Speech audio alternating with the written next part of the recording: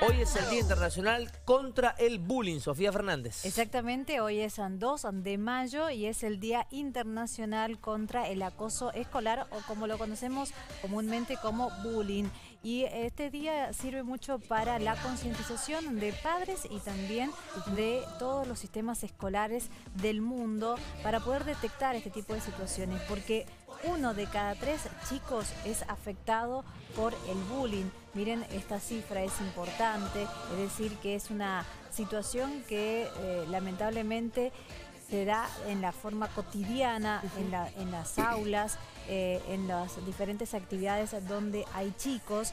Y desde el 2013 fue proclamado este día por la Organización de las Naciones Unidas para la Educación, la Ciencia y la Cultura, conocida como UNESCO, para, eh, junto con otras instituciones gubernamentales, con este claro objetivo de eh, concientizar acerca de estos ataques que sufren cientos, miles de chicos en todo el mundo y que tantas consecuencias trae a nivel psicológico, social. Muchos chicos no quieren ir a la escuela a causa del bullying.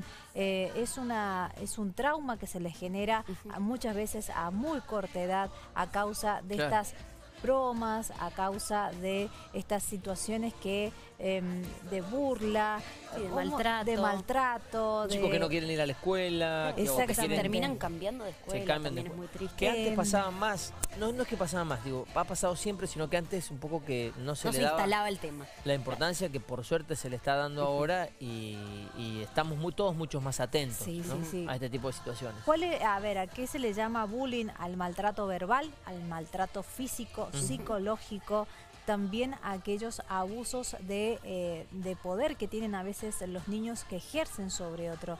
Y este año en particular, el 2024, lo que se intenta con este día es siempre eh, cuando hay días especiales eh, se trata de tener un lema. Este, este, este año el lema es concientizar en el testigo, en ese niño que ve alguna situación y que pueda detectar ese problema y que lo pueda manifestar, comunicar ya sea algún docente o también a sus padres, algún directivo, Lograr que en vez de que lo celebre que se sume, por el contrario, que lo castigue. Es, educar al testigo también, a este niño que a lo mejor ve esa situación, pero que no se anima, porque a lo mejor también tiene miedo que a él o a ella le den, le hagan como el botón, el buchón, que también es, castigado. Bueno, lo que se intenta a partir de este año es llevar a las escuelas esta forma de concientizar acerca de este testigo, a este niño decirle, mirá, si vos ves una situación de algún compañerito, compañerita que está pasando por esto, avisarle a,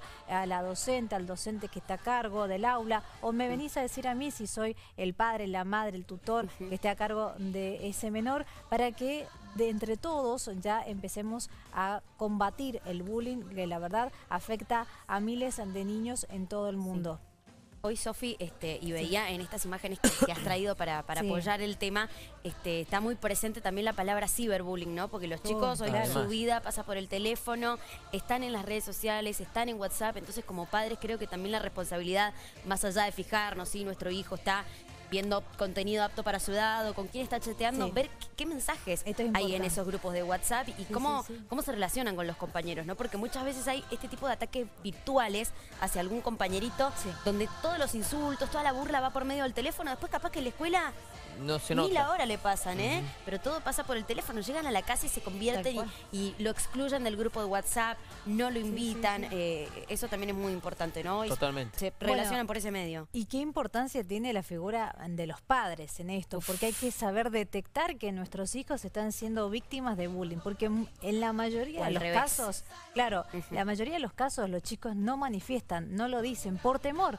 justamente a que le que tenga mayores consecuencias en las escuelas o en los lugares en donde eh, lamentablemente tiene este problema de bullying. Entonces los padres tienen que detectar algunas situaciones. Puede ser en el en la autoestima que tenga ese niño, capaz que el rendimiento académico el también, rendimiento, hay un montón de factores. Y si no sabemos o tenemos sospecha, hablar con con ese niño, a ver qué le está pasando. es muy importante la como te decía Clarita, a la inversa también, ¿no? Que los padres también puedan detectar cuando sus hijos son los que cometen actos de bullying Exacto, eh, para poder llamarles la atención o al menos este, abocarse a ese tema. Porque a veces cuesta también como papá, como papá, es mi hijo. Las dos cosas son Vos difíciles. Sabés que, mm, de acuerdo a algunos factores que se analizan, muchas veces eh, estos problemas vienen de casa, ¿no? O sea, los niños, ¿por qué hacen eso? Bueno, porque a veces han visto situaciones de agresividad en, la, en, sus casas, porque a lo mejor consumen material que es agresivo, como por ejemplo, a lo mejor los padres dicen, no, pero si nos tratamos bien, sí, pero ve material agresivo, como o puede no ser se les pone límites. O, típicos chicos que hacen lo que quieren y que manejan a, a sus padres o se suma a, otros chicos que hacen este tipo de prácticas. Eso también sucede por pertenecer, por ser parte. Entonces, por no quedarse afuera o por no, sufrirlo, porque si yo no quiero que me toque a mí. Claro, entonces, me hago parte. Bueno, eh, pero eh, bueno es un tema muy, muy importante, muy sensible y está buenísimo que esté sobre la mesa, ¿no? Porque insisto, yo antes, esto cuando yo iba a la escuela, por ejemplo, cuando habrán ido ustedes, pasaba, no es que no pasaba, sino que nadie daba bolilla. Obvio que sí. Y Creo que todos en algún momento hemos recibido una burla de los compañeros, nos hemos sentido solos.